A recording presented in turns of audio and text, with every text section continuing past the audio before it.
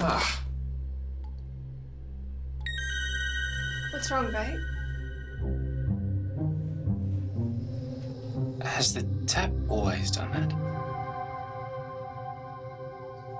I don't think so. You can't see an electrical fault, but you can feel one. To be safe, report all shocks and tingles immediately to Western Power on 13 Authorised by the State Government Perth.